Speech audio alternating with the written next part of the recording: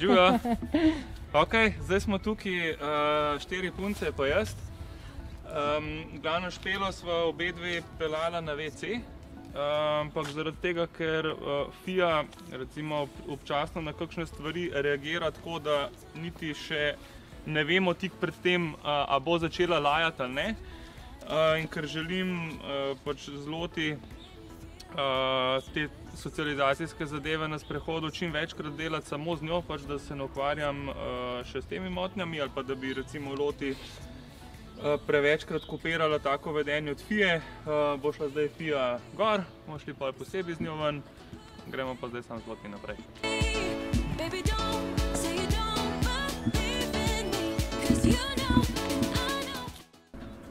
Glavno, zdaj bomo š, smo pa v otroškem igrišču. Vidimo tukaj, da je nekaj otrok na igrišču, uh, ker pač tudi jaz loti še le spoznavam. Uh, niti ne vem, kako reagirajo na otroke, niti nič. Zato za začetek pač uporabljam uh, sleden povodec, ki je dosti dolg, da tudi psa ne silimo v neke situacije. Uh, od začetka so precej stran od igrišča, malo opazujem njeno reakcijo in potem se bova počasi približvala. Zdi se mi pa pomemben uh, pri socializaciji ne samo, da pes pač doživi izkušnjo, uh, neko novo, ampak da to uh, izkušnjo poveže še dodatno z nečim dobrim. Ne? Se pravi, tudi tukaj nam reko ravno, da, da uh, uporabljamo pozitivno motivacijo v takem smislu, da bi kaj želeli od psa, ampak da mu enostavno samo ukrepimo to dobro izkušnjo, ne? recimo v tem primeru s hrano.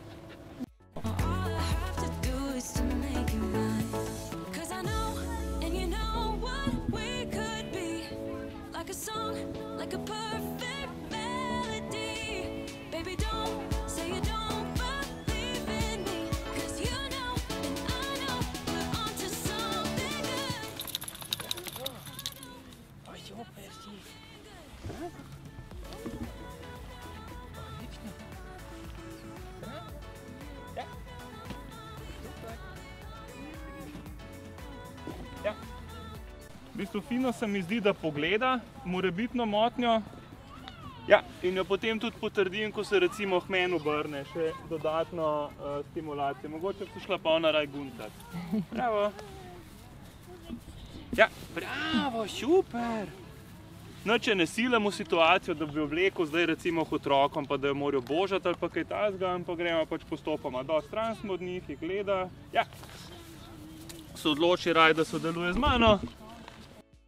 Ja, lahko naredimo potem nekaj takih vajic, ki jih delate, ni pa nujno, da od psa v tem primeru. Ja, kaj zahtevamo. Ja. Ja. Odlično, bravo. Super.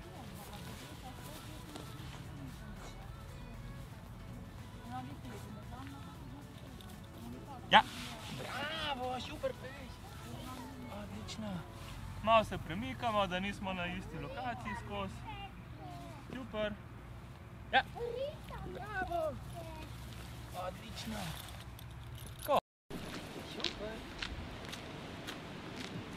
Ni mečkam preveč je stresno. Ne? Vidimo tudi, ker recimo jemne hrano, skozi pogleduje okrog, ne?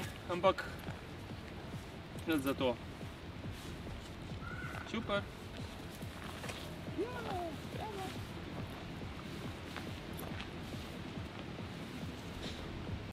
Fantje telovadijo, glasna muska, ona jih vid, tudi tekačica recimo gre mimo, jaz jo sam hranim.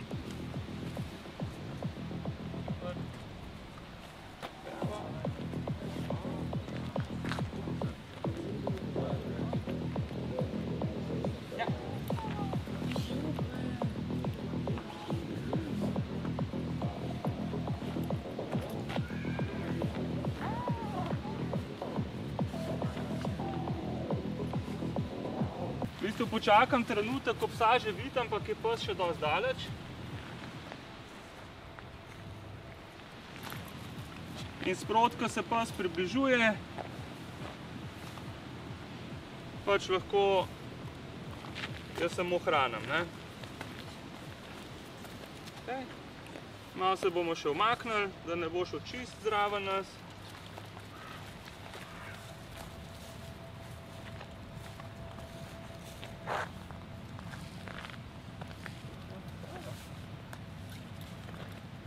Koš je super. Spet malo, da ga vidi, je že malo bliže zdaj kuža. Bravo. Ga vidi. Bravo, super, tako. Zdaj šel pa kuža stran, kar je tu čisto v redu.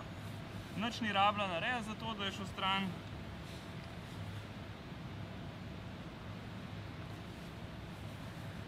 Kar sem to pomeni, da se slučajno ne navad, recimo če bi lajala, pa gre pes stran, da se to prevečkrat ne ponavlja, ker pa lahko pes dobi občutek, da je rešil situacijo s tem, ko je lajal. Ja, tako, super. Ta se pa še navaja na druge pse. Ja, Ja, super.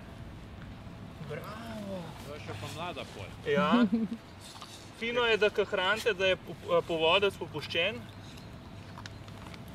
Ja, super. Bravo.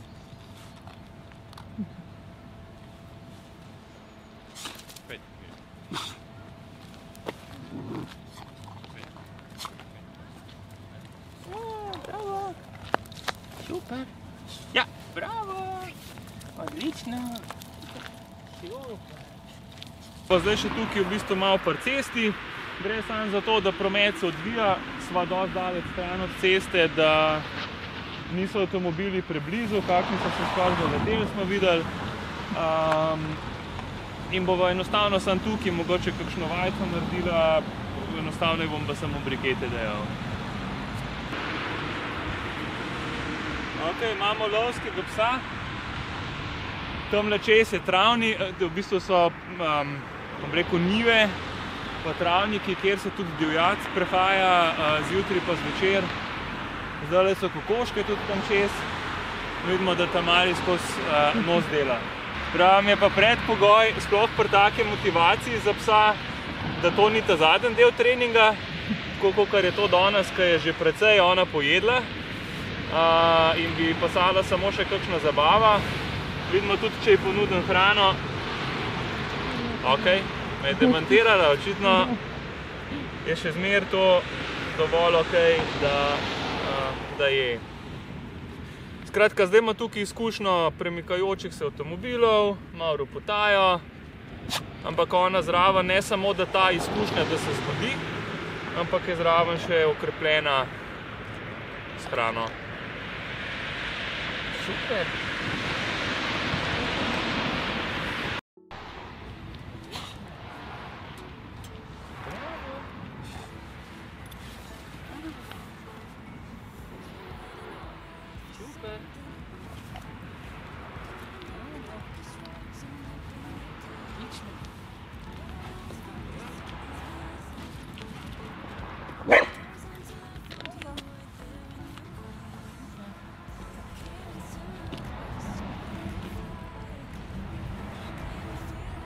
could touch the sky. Oh, there's nothing missing now that you're my.